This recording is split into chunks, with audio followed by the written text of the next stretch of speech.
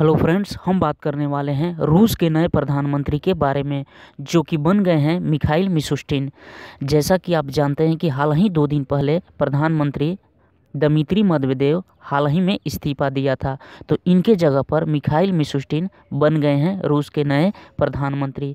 रूस, जैसा कि आप जानते हैं, राजधानी है मास्को, राष्ट्रपति हैं व्लादिमिर पुतिन करेंसी है रशियन रूबल।